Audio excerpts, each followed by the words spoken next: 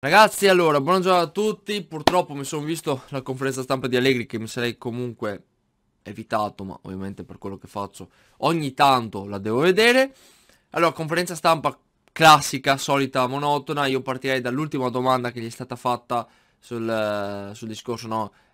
Allegri ha continuato a dire Spalletti è un bravo allenatore, sa insegnare e quant'altro. Un giornalista gli ha chiesto ma allora, ma se lui è bravo e sa insegnare, tu che hai vinto, cosa sei? A me è sembrata tanto una domanda proprio di, di, di, per fare proprio il lecca culo ad Allegri. Sotto quell'aspetto Spalletti qualche mese fa ha detto una cosa sacrosanta, ci sono allenatori che vengono tutelati dalla stampa e altri allenatori invece vengono criticati per partito preso dalla stampa. Purtroppo è così, a me non piace come si fa il giornalismo in generale, ma soprattutto qui in Italia. Sotto questo aspetto Spalletti per me aveva non ragione, di più e Allegri proprio per me è, è l'esempio, è l'emblema, no? Poi io ho una mia sensazione che Allegri farà, purtroppo, anche se mi dicono il contrario, farà un altro anno alla Juventus per poi accasarsi sulla panchina nazionale dopo l'europeo. E quindi anche per questo mh, mm, probabilmente qualcuno sa qualcosa e, e cercano di tenerselo buono perché poi potrebbe essere l'allenatore della, della nazionale che dovrebbe, insomma, eh, qualificarsi ai mondiali 2026 dovrebbe. Però al di là di questo, eh, è una mia sensazione, questi sono proprio sono castelli che mi faccio io, però è una mia sensazione. Detto questo, quella domanda lì è abbastanza, no? A me non, non, è per niente piaciuta, ma ormai non mi incazzo neanche più con cioè, giornalisti. Che, con, con, cioè, con i giornalisti dovrei incazzarmi, effettivamente, perché eh, tutelare così un allenatore eh, ma lo vedo in giro, no? lo vedo ovunque. Poi Caressa ha detto una cosa giusta, ho visto un video su TikTok, ha detto una cosa giustissima, cioè ci stanno le critiche, ci sta il fatto che a te non piace un allenatore, ci sta tutto il resto che tu non lo voglia e bla bla bla, però poi quando finisci no, con, eh, con l'insulto cade magari anche tutto il discorso razionale che hai fatto prima, questo è vero, però molte volte ci lasciamo andare da a, diciamo, agli insulti facili, al, agli sfoghi facili, anche perché non è tanto nei confronti di Allegri, anche se comunque, o dell'allenatore, eh, insomma, che, che, stiamo discutendo in quel momento là, anche se fa molto del suo eh, per farsi non, non, sopportare, diciamo, ma soprattutto per la sua fanbase, diciamo, eh. quindi purtroppo è lì il problema, cioè noi, chi critica Allegri, viene condizionato molto anche dall'opinione eh, totalmente contraria, ma a volte anche tendenziosa di molti tifosi che ci vengono contro e, e tifano più allegri che la Juventus molte volte. Tant'è che vedo dei post, per fortuna io su Facebook non sono amico di Allegriani, quei pochi che erano Allegriani li ho cancellati, quindi vabbè, comunque al di là di questo li ho rimossi. E ehm, molte volte si dice anche che Allegri è il terzo allenatore più vincente della storia della Juventus. Sì, è vero, ma è anche il terzo allenatore più longevo nella storia della Juventus, cioè quello che ha fatto più panchine, più anni alla Juventus. Perché eh, se noi guardiamo, dopo Trapattoni e Lippi c'è lui. Il problema è che i primi due Coppe Europee le hanno vinte, Champions League soprattutto. L'ultimo, l'ultimo farà eh, il prossimo anno, raggiungerà Lippi con gli anni e non ha vinto neanche una Champions. Ok? E si esaltano i 5 scudetti di fila in un campionato, in, in, in, campionati nei quali non era proprio, non sono stati paragonabili, non erano paragonabili ai campionati che hanno vi, han vinto tra Pattoni e Lippi, contro quelle squadre lì, contro quei giocatori lì, cioè, bisogna dire anche questo. Però quando si dice no, sì ma tu non puoi pretendere la Champions perché la nostra storia, pochi allenatori, solo due allenatori hanno vinto la Champions, tutti gli altri allora per te hanno fallito? Sì, sì, per me tutti gli altri allenatori che non hanno vinto la Champions hanno fallito, perché dovrebbe essere così eh, che, insomma, il tifoso juventino dovrebbe ragionare così se vuole essere ambizioso dopo 38 scudetti, no? Boh. Ma l'aggravante di Allegri è che a differenza degli altri è il terzo allenatore appunto che è stato più sulla panchina eh, della Juventus, perché questo è il settimo anno, il prossimo anno se dovesse rimanere sarà l'ottavo anno, l'ottavo anno, cioè andremo nel decennio che a parte le parentesi Sarri e Pirlo abbiamo avuto Massimiliano Allegri qua sembra che oltre Allegri non ci sia Juventus e per me, per me è una cosa vergognosa è una cosa vergognosa ok e, ehm, al di là appunto del calcio non calcio che sapete bene come la penso sul discorso calcistico però quando si dice appunto sta frasetta che allora tutti gli altri allenatori hanno fallito e vi ripeto sì eh, il problema è che nella nostra storia bla bla bla il fatto è che ripeto l'aggravante di Allegri è che è uno degli allenatori più longevi e che ha fatto appunto più anni alla Juventus. Quindi questa è una aggravante mh, rispetto magari a un capello, che anche lui comunque le sue cazzate le ha fatte, ha fatto due... E io ripeto, ricordo che eh, l'anno nel quale siamo stati eliminati dall'Ajax, il percorso, dopo vedendo no, che il Tottenham, Tottenham ha eliminato il City, il percorso verso la finale eh, era quasi spianato. Ok, era quasi spianato. Avremmo affrontato il Liverpool, il Liverpool probabilmente in finale. Non è detto che poi avremmo vinto perché il Liverpool, ragazzi, non è che aveva chissà che giocatori. È Klopp che li ha resi tali, eh. È Klopp, Jürgen Klopp che li ha resi tali che sembrava una squadra imbattibile, fortissima. È Klopp con il suo modo di vedere il calcio che, la, che ha reso il Liverpool quel, um, così forte. Ok? Bon, e lì, quando dico che l'allenatore per me vale tanto, è, quello è proprio, a meno che appunto tu non debba gestire semplicemente una squadra di campioni, il Real Madrid ad esempio. Allora lì ci sono delle percentuali che dipende dalla realtà e dall'ambiente nel quale sei.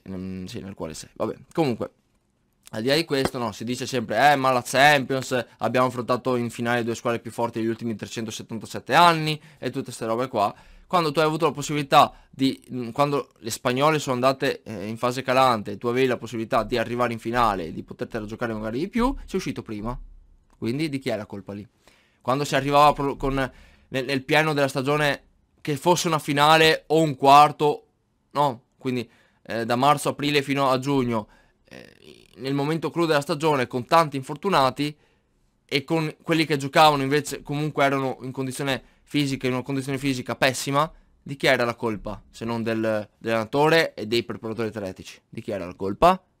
Quindi Allegri non è solo un discorso di gioco o non gioco, di calcio propositivo o speculativo, è un discorso a 360 gradi che non ha mai fatto il salto, collegandomi no, al video che ho fatto di 40 minuti l'altro giorno e mi sono dimenticato di dire anche questa cosa qui, del discorso dei, dei, preparat- dei preparatori atletici, anzi forse l'ho detta, che non li ha mai cambiati, e lì è una colpa tua, mica mia. E non hai cambiato mai la preparazione atletica, eccetera, eccetera, eccetera. Poi l'altra cosa, l'altra cazzata che ha detto oggi in conferenza stampa è eh, l'obiettivo quarto posto. Allora, o lo dice perché sa che i suoi giocatori non hanno chissà che personalità per reggere no, la pressione di arrivare primi, o lo dice perché è sicuro che arrivando tra i primi quattro comunque lui il posto lo ha garantito. Anche per il prossimo. Però per il terzo anno di fila puntare al quarto posto, allora tanto valeva, non dico tenersi Pirlo, ma prendere un allenatore per il quarto posto. Perché ricordiamo che a me, ripeto, lo scudetto frega cazzi, ma che per i risultatisti Allegri era stato preso quantomeno per vincere in Italia.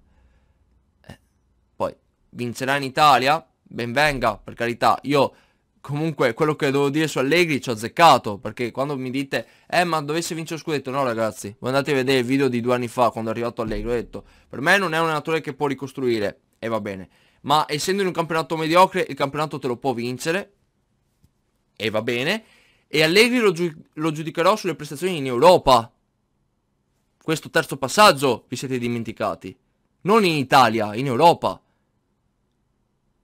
e ho paura che in Europa non sia così migliorato anche se lo spero. Ma il mio giudizio, eh, l'ago della bilancia sarà l'Europa. E in due anni se non mi vince la Champions quantomeno mi deve far vedere un miglioramento prestazionale e di risultati in Champions, no?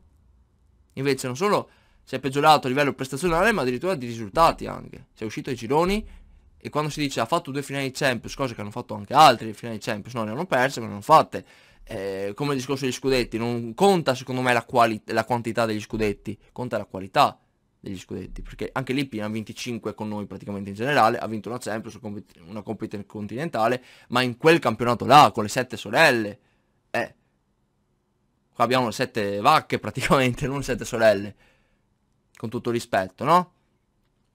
Quindi sinceramente eh, anche là il discorso della quantità degli scudetti, l'allenatore non me ne frega un cazzo di quanti scudetti abbia vinto. Non ha vinto nulla di più rispetto a quelli che hanno vinto prima di lui in, con la Juventus. Salvo appunto quei due allenatori là che io ci metterei soprattutto Lippi più che Trapattoni, perché Trapattoni veramente ha perso la finale più scandalosa della nostra storia. Lippi ne ha perse, però al di là di questo, no. Lasciamo stare eh, l'85 perché eh, l'85 noi ce lo ricordiamo non per la finale vinta ma per quello che è successo al di fuori dello stadio, giustamente direi anche. Quindi eh, quando si dice no, uh, il terzo più vincente della storia, Allegri nella sua bravura è stato anche, tra virgolette, non dico fortunato, però ha opportunista, nel senso che è stato bravo a cogliere eh, il fatto che Conte si fosse dimesso e ha raccolto la sua eredità, poi migliorandola, facendo qualche ritocco suo, per carità. Ma non si fosse dimesso Conte. Questo allenatore qua non avrebbe vinto tutto quello che ha vinto. Quindi voi avreste comunque esaltato qualsiasi altro allenatore al posto di Allegri. Quindi non è che Allegri ha vinto così tanto per meriti suoi, ma perché è capitato nella squadra più vincente in Italia e in quel momento là più organizzata in Italia. Quindi meriti ne ha sicuramente. Ma è Allegri che deve ringraziare la Juventus, non viceversa.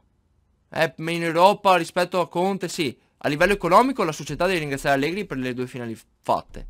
Ma il tifoso, il tifoso, non deve ringraziare... Cioè, eh, le due finali dove me le attacco se le perdo? No? Perché vincere non è importante, è l'unica cosa che conta. Poi per le finali, chiunque affronti, c'è sempre una giustificazione. L'arbitro, l'episodio, la squadra più forte. No?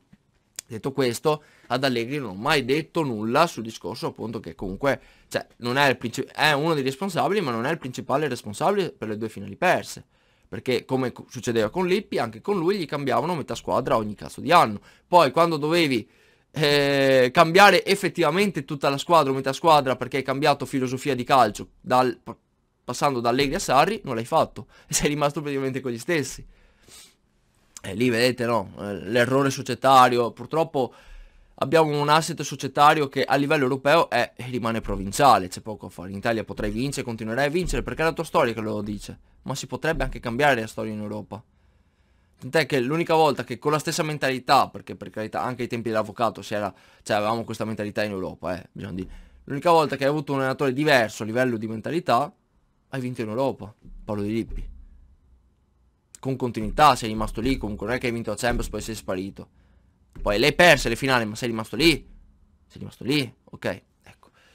Sul discorso del quarto posto, obiettivo come un quarto posto a me pare abbastanza... Poi lasciamo stare no, le altre frasi retoriche che Napoli favorito, che poi io ripeto, per me, io ho detto quarto posto il Napoli, per me rimane la quarta rosa del campionato. Ma ve lo, ve lo continuo a ribadire. Cioè, per me sopra l'Inter, al Napoli ci sono Inter prima, Juventus seconda, terza Milan e quarto Napoli. Per me è così la, eh, il, diciamo il campionato. Diciamo le rose di questo campionato. Quindi il lavoro importante lo sta facendo Spalletti. Perché a livello di rosa, di panchina, non è che il Napoli sia no, chissà che, che squadrone, eh? eh non è come la Juve di 5-6 anni fa che aveva due panchine, perché già verso, cioè due squadre, perché già verso la fine degli scudetti la Juventus non aveva più due squadre, neanche tempo nell'anno di Sarri, quando si dice Siman, eh, quando si giocava una volta di tre giorni da giugno a luglio, eh, eravamo più favoriti rispetto alla Lazio, è una cazzata questa, perché neanche la Juve aveva chissà che rosa, è un Douglas Costa che poi ha iniziato ad avere i soliti problemi, Higuain che era un ex giocatore, Di Bala che si è svegliato ma ha fatto, ragazzi, l'hanno esaltato, ha fatto 11 gol, non è che ne abbia fatti chissà quanti, ok? L'unico era Ronaldo, gli altri a centrocampo erano Rabiot che era il, non era chissà che giocatore in quel momento là, che neanche adesso mi fa impazzire, però comunque eh, sta meglio, sta, sta, messo meglio adesso.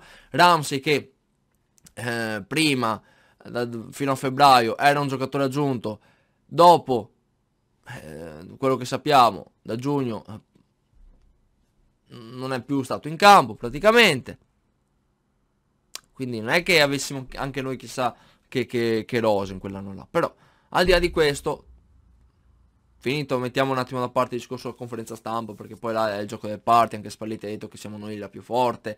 Eh, la più forte per me rimane l'Inter e Simone Inzaghi è un altro che piange, una roba allucinante. Poi ecco, altra roba, Allegri mi va a dire eh, basta con questo discorso di Juventus Salernitana, sei stato te ad andare avanti per due o tre settimane, ecco quell'episodio là, eh, che è gravissimo, ma continuare a rimarcarlo non faceva altro che trovare giustificazioni ai giocatori. Tant'è che adesso non lo tiri più fuori perché? Perché stai vincendo da 8 partite di fila. Quindi quello che vi testimonio e vi dico sempre io. La maggior parte degli allenatori quando non vincono sono tutti provinciali. Sentirete pochi allenatori dire ho sbagliato io, è colpa mia. Pioli l'altro giorno l'ha messo sul discorso infortuni. Quante volte avete sentito dire da Allegri eh, che è colpa nostra, mia, del mio staff, se abbiamo tutti questi problemi? Fisici. Mai, mai. Quindi Poi per quanto riguarda Allegri, il discorso del gioco, non gioco, allora Allegri è questo tipo di allenatore qua. Lui allena la squadra all'italiana durante gli allenamenti, cioè gli fa fare eh, ripetute, corsa, ehm, resistenza, lavora sulla, su, sulla resistenza, tra virgolette, eh, sulla tenuta del campo. Per quanto riguarda a livello tattico, lavora sulla lettura delle azioni in fase di non possesso soprattutto, non sul pressing alto, lavora sul pressing difensivo, lavora sulla, sulla chiusura delle linee di passaggio, cioè così lavora Allegri, eh. E quando devi mettere la, la squadra in campo, lavora sul appunto non prendere gol, nel senso che dice io comunque ho una delle squadre più forti dell'Italia in questo momento qua, all'epoca la squadra nettamente più forte. La giocata prima o poi in 90 minuti sicuramente la trovo. Quindi il mio primo obiettivo è non prendere gol, soprattutto nel primo tempo. E domani farà la stessa cosa secondo me, come abbiamo visto nelle ultime partite. Cercherà di contenere il Napoli, ok? E di eh, poi reagire nel secondo tempo cercando magari un gol, una giocata individuale, sicuramente facendo un qualcosa di più nel secondo tempo. Poi magari domani troviamo il gol subito e poi magari perdiamo 4-1, non lo sappiamo, però giusto per farvi capire secondo me così che ragiona Allegri adesso ma già da tempo, già da quando si vinceva no, nettamente. Il problema è che là veniva un po' nascosta sta cosa dalla qualità dei singoli. Napoli-Juventus 0-1, gol di Higuain, quello per me è l'emblema. No, contropiede, Costa, Dybala, Higuain, non sono meccanismi studiati da Allegri quelli. Sono giocate individuali. Movimenti che fanno loro di natura. Ok, quello è. Però, al di là di questo, eh, questo è, è Allegri. È pigro sul discorso del lavorare sui meccanismi. Non è un allenatore che lavora sui meccanismi offensivi. Perché non, non lo sa fare, non vuole farlo e non lo fa sentire sicuro su quell'aspetto lì. Cioè lo, lui si sente più sicuro a lavorare sulla fase difensiva, sul vedere una squadra solida, compatta dietro. Questo è Allegri. E come eh, tutti gli allenatori che ragionano come lui, come Simeone, faccio un esempio. Non è un allenatore che si sente sicuro quando ha il possesso del pallone. Poi, ragazzi, non è un discorso di tiki-taka, perché Lippi dominava le altre squadre, il primo, il primo Lippi, in verticale. Lui è arrivato 20-30 anni prima eh, rispetto a Jürgen Klopp, cioè lui faceva già quel tipo di calcio, un calcio verticale, pressing ultraoffensivo, eh, si recupera palla, si ripartiva, si dominava il gioco ma si, comunque si cercava la verticale su Vialli, Ravanelli, Del Piero, questo era Lippi. Quindi lui è arrivato già prima di Klopp, no? Sotto, sotto questo aspetto. Quindi a me non è che piace vedere una squadra che domina con il possesso palle e basta, perché noi contro Villarreal abbiamo fatto questo, ma cosa vi ho detto? Ma già all'intervallo, quando eravamo sullo 0-0, così non si va da nessuna parte, perché sì hai possesso palla, ma te lo lasciano apposta perché sanno che Allegri non lavora sui meccanismi offensivi. Poi le 7 stelle che abbiamo perso 3-0, ma proprio era il concetto, era il concetto, no? Quindi non è un discorso del possesso palla, io vorrei per una volta avere la sensazione che la mia squadra, eh, che la mia squadra domini l'avversario, che metta una sua identità di gioco in campo e che sia l'avversario a doversi adattare alla mia squadra, non viceversa. Ok, questo è il mio discorso che faccio su Allegri, le mie battaglie su Allegri, ma ve l'ho già detto nel video dell'altro giorno di, di 40 minuti appunto. Questo è il, il mio senso. Poi, per quanto riguarda Napoli-Juventus, allora, questi qua fanno i casini, ok? fuori dagli stadi e limitano i nostri tifosi. Cioè, eh, ieri Lanza ha riportato che ehm, non ci sarà nessun divieto di trasferta per Napoli-Juventus del 13 gennaio, ma aumento dei controlli con servizi di filtraggio dei tifosi ospiti in partenza. Lo ha deciso l'osservatore nazionale sulle manifestazioni sportive. Cioè voi ditemi che questi fanno i casini e controlleranno il buco del culo praticamente ai nostri tifosi. Boh, eh, capite che questi qua non vengono mai puniti. Cioè, la tifoseria del Napoli, il Napoli non viene mai punita. Mai. Ma non vengono mai puniti questi. Poi canti un coro contro Napoli, ti squalificano le curve. Una roba allucinante. Io non sono per le chiusure delle curve, eh. Però se c'è, se voi chiudete le curve da una parte, le dovete chiudere soprattutto quando succedono delle cose, certe cose, dall'altra. Invece del Napoli non ho mai visto chiuse, curve chiuse. Mai. Mai. E hanno fatto ben peggio rispetto a un coro del cazzo, sinceramente. Vabbè. Comunque, per quanto riguarda Napoli-Juventus, poi ne parleremo domani in live eh, su Disamina Bianconera. Cercheremo di, di vedere un attimo il da farsi, di come gioca un po' il Napoli. Piccola antici- anticipazione è che comunque il Napoli gioca in fase di possesso quando gioca con Zelischi, soprattutto con un 4-2-3-1, perché in fase di possesso Zelischi si butta sulla, sulla tre quarti avversaria. In fase di non possesso è un 4-3 puro, cioè eh, lì anche là vedi no, la mentalità offensiva che in fase di non possesso comunque rimane un modulo offensivo. In fase di possesso appunto eh, un, un 4-2-3-1 con Zelischi che si butta tra le linee, poi eh, c'è Lozano di solito a destra, c'è Kvaratskhelia a sinistra, c'è Osimen centrale e appunto poi i due centrocampisti come sapete bene sono Lobotka che eh, l'ha, eh, rivitalizzato Spalletti e Anghissà che è un giocatore che comunque è un buon giocatore che in Italia sta ben figurando però ricordiamoci che è stato mandato via dal Fulham a 27 anni dalla Premier League sicuramente se un giocatore dalla Premier League a 27 anni retrocede, tra virgolette, nel campionato italiano, un motivo ci sarà. E non parliamo de- del Liverpool o del City, parliamo del Fulham, ok, con tutto rispetto.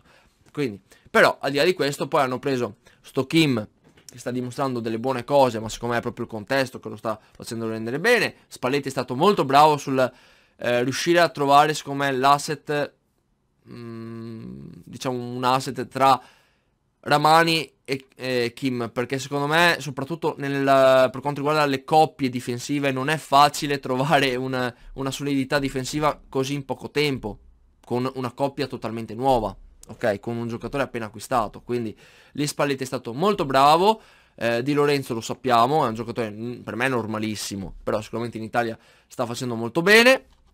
E dall'altra parte Mario Lui che eh, probabilmente verrà scelto lui al posto di Oliveira che sappiamo bene cosa eh, che, che, che, che, è un giocatore anche lui normalissimo, anzi io per quanto mi riguarda Mario Lui è un giocatore mediocre, solo che nel contesto Napoli in questo campionato qua sembra che sia chissà che giocatore qua, mm, sta, è migliorato sui cross sicuramente, è migliorato sulla, su, sulle sov- sovrapposizioni, per carità su altre cose, però per me è un giocatore normalissimo, io ripeto, eh, squadra completa, che lì è un problema comunque di Allegri, la Juventus per me rimane superiore al Napoli, ok?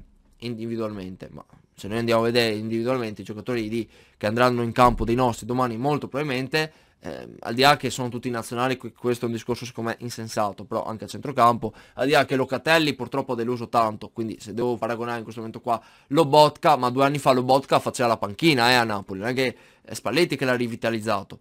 Quindi ehm, per me lo, Lobotka non è così tanto superiore a Locatelli, è l'allenatore che lo diciamo valorizza. A me Locatelli non piace, per me non è un, un giocatore da grande squadra, vabbè.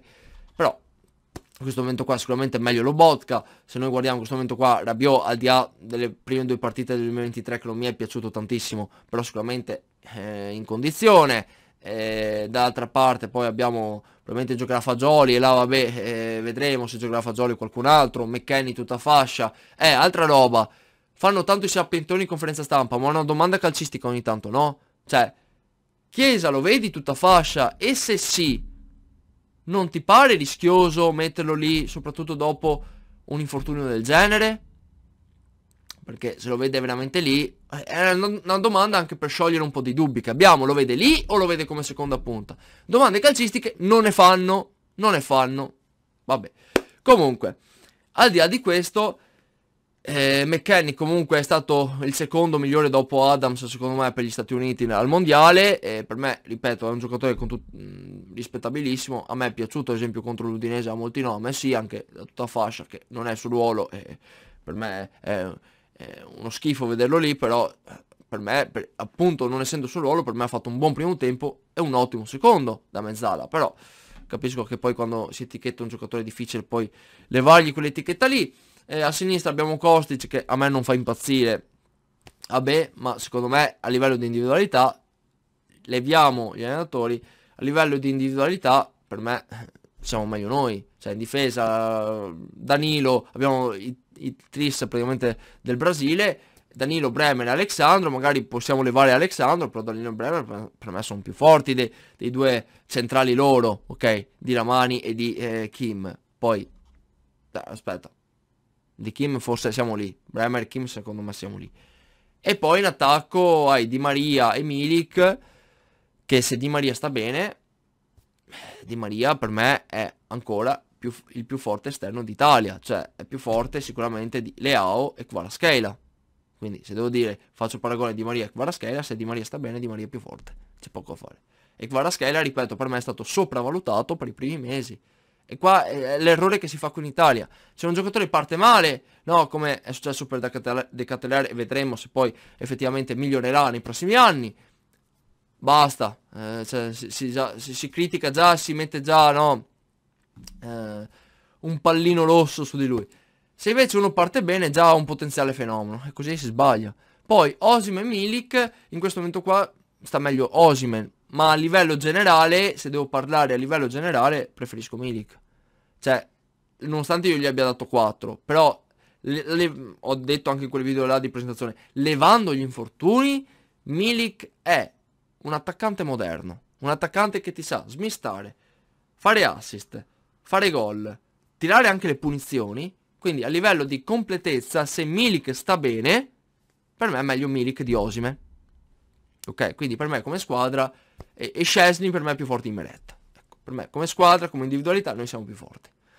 Il problema è che abbiamo perso punti all'inizio, come sempre, come fa Allegri ogni anno, solo che quando hai la squadra più forte li recuperi e stravinci, quando sei lì, insomma, per giocartela, eh, lì la differenza la fa l'allenatore. Poi vedremo, perché poi di solito da gennaio in poi il Napoli e Spalletti calano, quindi vedremo cosa succederà. Questo, fino a questo momento qua Spalletti ha dimostrato di essere più bravo di Allegri quest'anno. Ok, buon. Poi vedremo in futuro. E, e, fa un calcio propositivo, un calcio che comunque sa eh, sia attaccare sia difendere. Fasi in un possesso sa fare sia il pressing oltreoffensivo sia quello difensivo, sa aspettare, sa eh, palleggiare, sa quando accelerare, quindi il Napoli secondo me sotto questo aspetto ha delle individualità importanti, ma non punta tutto sulle individualità, cosa che secondo me fa Allegri, no? Ma ripeto, quando sei la squadra più forte, nettamente più forte, come è successo negli anni passati, puoi permetterti di giocare come cazzo vuoi. Ma proprio perché sei la più forte, nettamente più forte, sai che al 90% delle volte vinci lo scudetto, avresti dovuto, secondo me, migliorare la tua fase offensiva e lavorarci su. E Allegri per me lì ha sbagliato totalmente. Punto.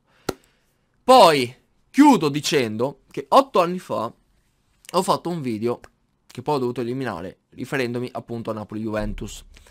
Quello che succedeva allo Juventino quando andava a Napoli allo stadio del Napoli nel giorno di Napoli-Juventus, non 365 giorni l'anno, ma in quel fatidico giorno era un incubo per un tifoso juventino.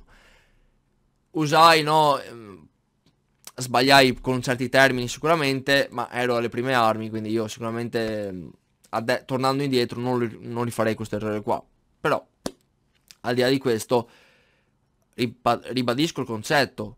Napoli-Juventus per un Juventino, andare allo stadio nel settore ospiti non era proprio piacevole. E allora un emittente campana ha praticamente ha preso quel, quel video lì, eh, emittente anche, anche, abbastanza importante, eh, ha, perché all'epoca mi chiamavo con un altro nome, mi ha, diciamo, ha fatto un articolo contro di me, ok, facendomi passare come quello cattivo che attacca il popolo napoletano, cosa che non è vera, ho detto semplicemente una cosa che mi è stata testimoniata non da uno, non da due, ma da decine, e decine, e decine e decine di persone che a Napoli ci sono andati in Napoli-Juventus e soprattutto è molto difficile essere juventino tra virgolette a Napoli e chi vive lì lo sa benissimo. Però al di là di questo, per me era finita lì, nel senso che io ho detto que- le testimonianze che mi sono arrivate e bisognerebbe ogni tanto informarsi anche dall'altra parte, non solo dalla parte magari del napoletano, ma anche dalla parte dello juventino. Però so che questa cosa qui per i giornalisti è molto difficile immedesimarsi, no? E informarsi veramente e informare veramente. È molto più facile eh, fare disinformazione per far attaccare un po' la gente. E questo io lo, purtroppo il giornalismo qui in Italia, vi ripeto, eh, sul giornalismo qui in Italia ci ho perso la fiducia da anni, anni e anni. Comunque, al di là di questo, io Detto questo vi auguro buona giornata a tutti, eh, domani appunto è il giorno di Napoli-Juventus, ehm, vedremo come andrà a finire. Io ho pronosticato che la Juventus domani per me vince, ve lo dico là, per me vince, non so come, non so perché, non so, per me vince, poi magari mi sbaglierò, molto probabilmente mi sbaglierò, ma per me vince, vedremo, e si riaprirà il campionato eh, a meno 4. Poi, ripeto, è una mia sensazione, probabilmente mi sbaglierò. E qualcuno mi dice, ma se Allegri lo critichi tanto perché dici che vince, se il campionato... Perché io sul discorso scudetto, lo ripeto, non, non sono mai stato dubbioso. Per me Allegri sarebbe tornato a vincere lo scudetto dal secondo anno. E vedremo, vedremo. Per me qualcosina poteva fare in più anche l'anno scorso sullo scudetto, se vogliamo dirlo. Vabbè, ragazzi, buona giornata a tutti. Sempre comunque fino alla fine, forza Juventus. E vediamo come, come andrà domani. E domani pomeriggio comunque su Disamino Biancolera parleremo un po' meglio tatticamente di Napoli e di Juventus. A domani, ciao a tutti.